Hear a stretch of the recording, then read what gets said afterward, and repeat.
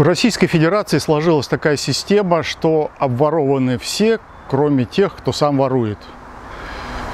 Конечно, так подспудно надо признаться, что в течение советского периода сложилась такая психология, что если только вот представится возможность, украду непременно. В свое время потешались на так называемыми несунами, которые с завода готовы были вынести все – через нашу проходную пронесу и мать родную. Но на самом деле это психология советского периода въелась в мозги, хотя подавляющее большинство жило не так, жило на одну зарплату и мучилось. Вот сейчас мы переходим к тому, что даже одной зарплаты вам не положено. Вам положено только то, что выделит олигархическая власть, а все, что вы получили сверх, она разграбит через цифровые технологии. Самый простейший метод воровства, который распространен не только в Российской Федерации, но и во всем мире, это соблазн бесплатности. У нас тоже вот для советского человека бесплатно, то есть даром, это, это все. То есть это лучший крючок. И вот вы находитесь в сети, глобальной сети, ищете какую-нибудь, ну вот пример там, со мной пример, я ищу антивирусную программу, которая была бы не отечественной, потому что отечественные программы э, вполне могут интегрироваться со слежкой. Зарубежные тоже, но там зарубежные службы, когда они им там до нашего уровня. А у нас э, слежка тотальная, поэтому любая антивирусная программа, ну, скажем, начиная с Касперского, под подозрением, что она вас, э, ваши данные собирает и предоставляет куда следует. Но ведь ФСБ это структура абсолютно не подконтрольная, то есть ни один, ни, ни депутат, там, ни какой-нибудь общественник, он не спросит, так, ребята, чем это вы здесь занимаетесь?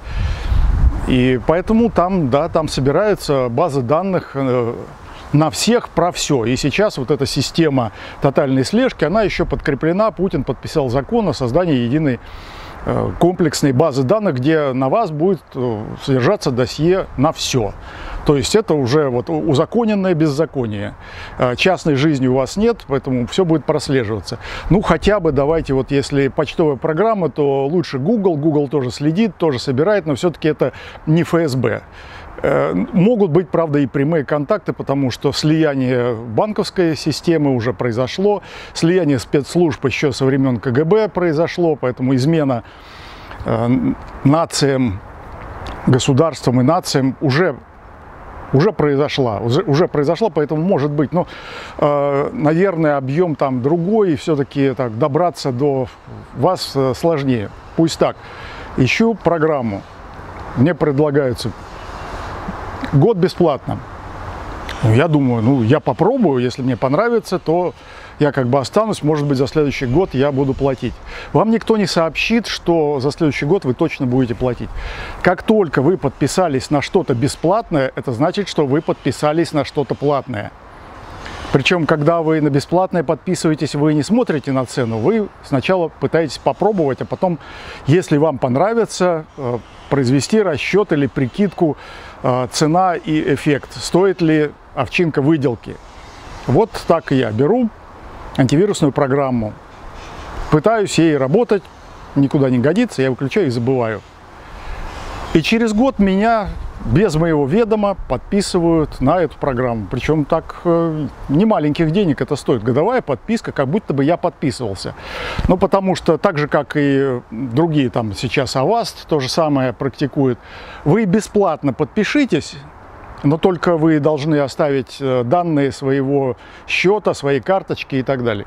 И вот эта вот э, уловочка, то есть вас поймали на крючок, и у вас не спросят, собираетесь ли вы подписываться на следующий год. С вас просто спишут деньги, потому что вы же подписались уже.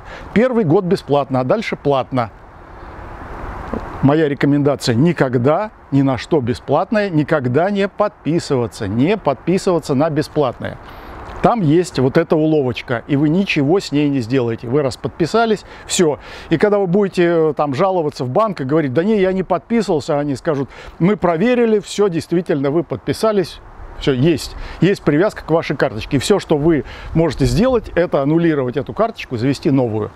Точно так же за рубежом у моих знакомых арендовали один раз машину, и там в договоре где-то меленько было написано, что там год бесплатно, а в следующий раз платно на рассылке этой фирмы.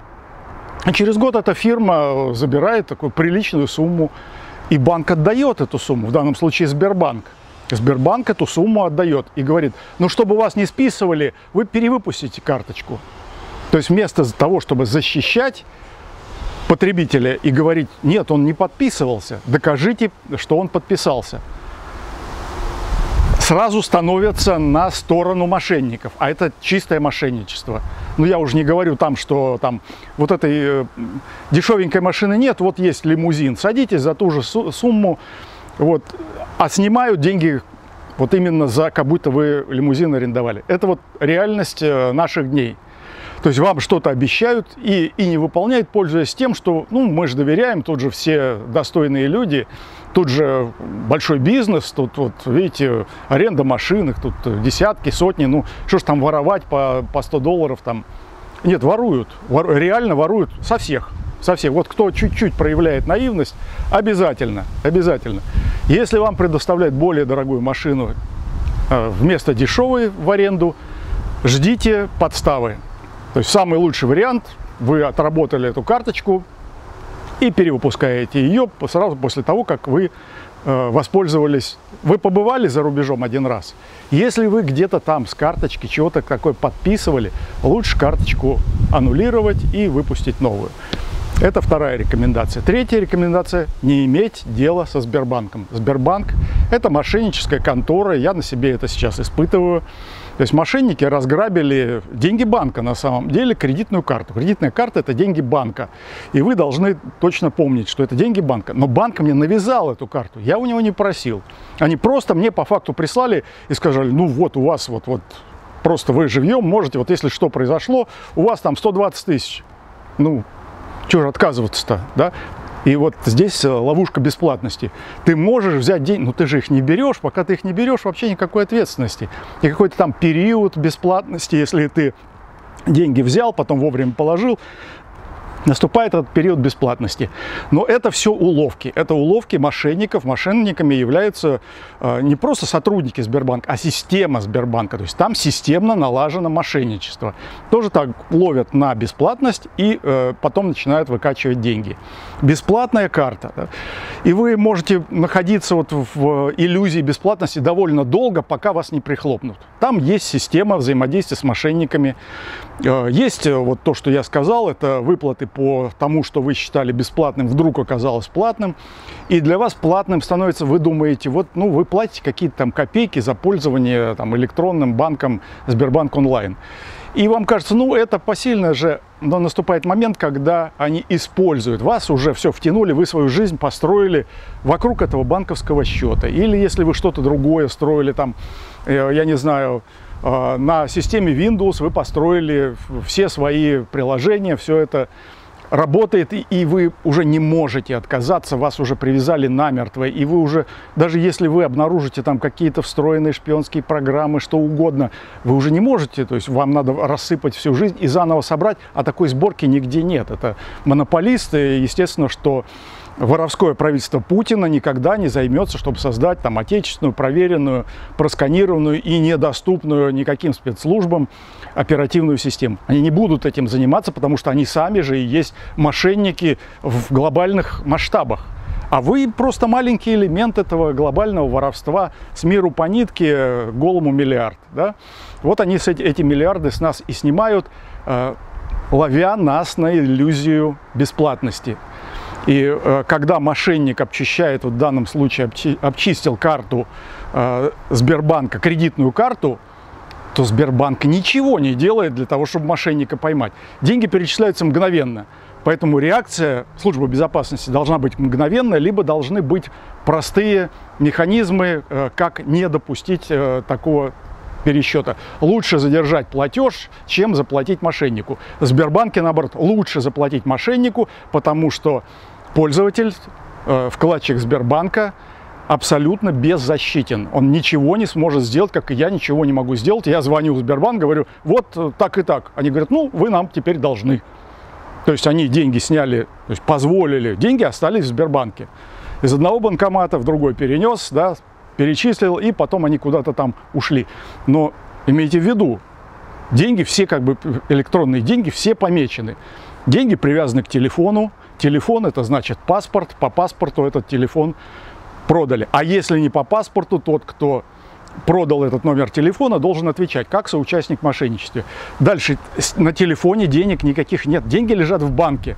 Если кто-то хочет прийти обналичить, то он должен предъявить свои документы, паспорт. Он при э, том, как счет был заведен, он должен был этот счет э, зарегистрировать на свое имя, доверенности, там, если это другое лицо приходит за деньгами, все это должно быть.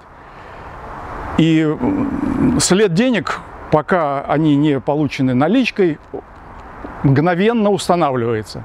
Сбербанк не имеет системы защиты такого рода. Он не ищет мошенников. Это ваше частное дело, что в Сбербанке вот такая дыра в его обороне, и мошенник легко проникает. Он вас, конечно, использует, ну, как, как такой э, механизм такой вот, да, психологическая обработка, там все это делается очень, ну, там, имитация тем, что, того, что вы работаете со Сбербанком, что это вот голоса похоже, все построено, ну, просто сто процентов. Там робот говорит тем же самым голосом, который он говорит в Сбербанке, там, проверка, голос, все, все элементы э, таковы, чтобы вы были уверены, что вы работаете со Сбербанком. Они унесли деньги, след остался, звонишь в тот же день, след, ну, по следу пройти и там заблокировать, нет. Вы просто нам должны. Это говорит о прямом соучастии Сбербанка э, в деле мошенничества. И эти мошенничества, понятно, они в рамках э, того, что человек считает себя одиноким. То есть из 100 человек один попался, и им достаточно. Но суммы, суммы довольно большие. Суммы довольно большие. И когда я спрашивал э, полицаев, ну и сколько там да, это десятки, это каждый день, это все. То есть вы знаете, как происходит мошенничество. Они готовы объяснить весь механизм. Ребята, а что это вы его не пресекаете? Ни Сбербанк, ни полиция не пресекает. Так вы, получается, в доле. То есть получается, что это не просто мошенничество, а это, а, если не прямой сговор, не прямая организация, что тоже очень может быть, то есть при Сбербанке мошенническая контора может действовать и не одна то тогда это социальный сговор, то есть определенный слой, то есть мошенники, которые используют легальные технологии грабежа, э, используют также и технологии нелегального грабежа. Их полиция не ищет, и Сбербанк специально оставляет дыру в своей обороне. То есть деньги расхищаются, я им должен, понимаете, то, что украли мошенники, не мошенники должны государству и э, конкретно Сбербанку, а я должен, я, кто не имеет возможности организовать защиту, а я знаю, как сделать защиту, ну, я придумал за одну минуту, можно сказать, как избежать того, чтобы э, мошенники, представляясь э, от Сбербанка, э, сразу разоблачали себя. Мошенники просто знают, какие смс вам приходят. Они обезличенные, а должны быть должны быть уникальные. Если они не уникальные, то мошенник прекрасно знает, он ссылается на те смс, которые автоматически вырабатывают, ну, чтобы э, не сажать оператора, не платить ему денег, сделали, поставили автомат. Если, если то, вот если то, значит, то посылается сообщение пользователю. И это сообщение, ну, поскольку оно все время одно и то же, мошенник проимитировал там на своей карточке, попробовал что-то там снять незаконно, он знает, как, какое сообщение и в какой момент придет. Точно знает. И легко на это сообщение ссылается. Если в сообщении написано, сейчас с вами свяжется э, сотрудник Сбербанка, как вы будете реагировать? Вы, конечно, будете уверены, что именно сейчас, но кто же знает вашу переписку? Так знают, и полицаи знают, что э, мошенники знают. Ну так какие проблемы сделать э, эту смс уникальный код впереди поставил с, с генератором случайных э, цифр или случайных чисел, и вот вам код, когда вам звонит оператор и говорит по смс номер такой-то, такой-то, такой-то, э, не может знать, если не, не вскрыть просто прямиком почту, не может знать мошенник, что это э, смс имеет вот такой код, э, генератор случайных чисел. Простая штука, вот, но это не будут делать, э, потому что дыра вот это выгодно, выгодно. Потому что как они делают? Они же не просто у вас забирают э, деньги, они не просто похитили ваши деньги, ну на самом деле это деньги Сбербанка, они на вас начинают насчитывать проценты. Каждый месяц, вот они похитили 120 тысяч, около 4 тысяч каждый месяц за вами записывается. Мне, мне смс приходит от, от оператора, который говорит, за вами 4 тысячи, вот месяц прошел, э, вам надо покрыть и так далее. Я им пишу, мошенники разграбили, вы знаете, я звонил такого-то числа, я заявление делал. Им на все наплевать, за вами 4 тысячи. Ну, а раз вы не хотите сейчас платить, мы записываем за вами долг. Ну, а на долг еще проценты на проценты и так далее. В этом и состоит выгода Сбербанка от деятельности мошенников. И выгода э, от того, пусть действуют э, мошенники э, самодеятельные или мошенники, которые созданы самим Сбербанком. Ну, специально маленькая фирмочка, которая где-нибудь там, бог знает где действует, и вот туда отсасываются деньги, и Сбербанк ничего не будет делать, чтобы мошенников наказать. Поэтому я и говорю, из Сбербанка надо уходить. Куда уходить? Ну, везде мошенники, но, ну, видимо, надо постоянно куда-то уходить. И вот эти переходы, они не позволят им сориентироваться и как бы вцепиться в вас. Вот есть годовой цикл у мошенников, который вас подписывают бесплатно, а потом начинают брать деньги со второго года. Ну, по крайней мере, один раз они возьмут, а потом попробуй отпишись. То есть вам надо искать, где, какие пароли. Да я же ничего не помню, не регистрировал. И когда это... То есть вы еще и отписаться не сможете. И банк будет продолжать сотрудничать э, с вот этими мошенниками, которые будут скачивать у вас деньги. Вообще ни за что, ничего не делали. Вы просто якобы подписались, вы никогда не пользовались.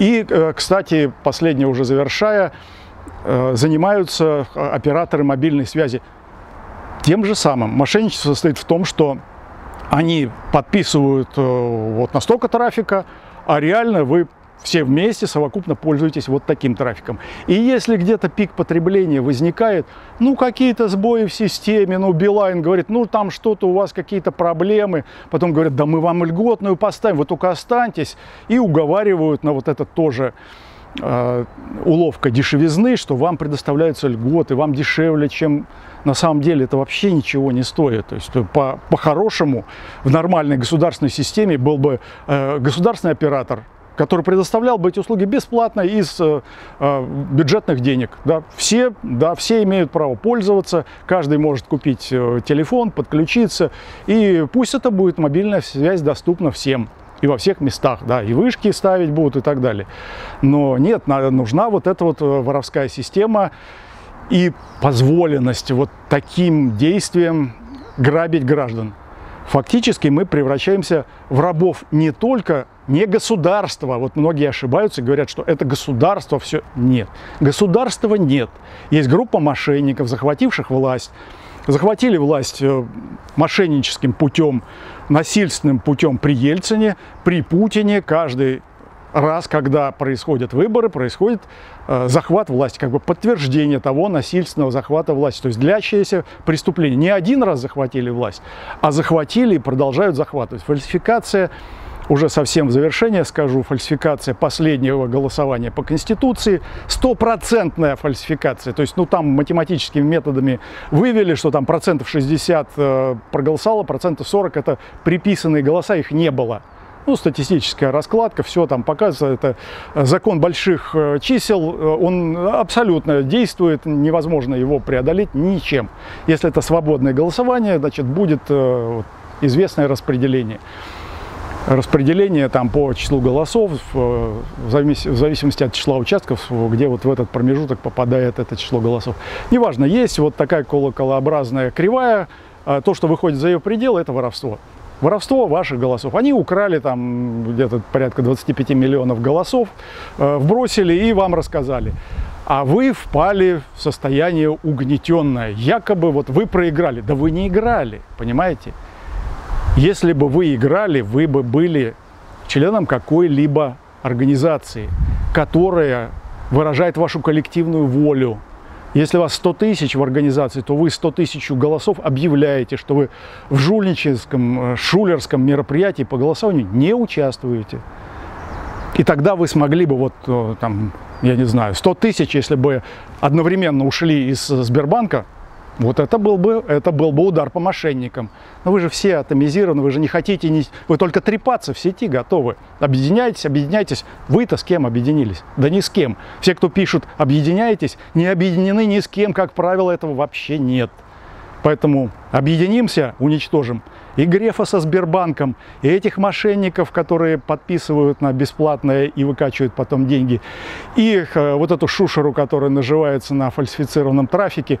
По всем проведется расследование, оно легко устанавливается, все это, все следы все есть. Только как бери и наказывай преступников, чтобы впредь такого не было. Вот для этого нужно объединение, и для этого нужно не отдавать власть, не отдавать власть чужакам. А Путин и компания – это чужаки. И все его сторонники и союзники – это мошенники и воры. А мы, честные граждане, должны сбиться в одну большую стаю и перегрызть все это варье. Слава Руси, Господи спаси!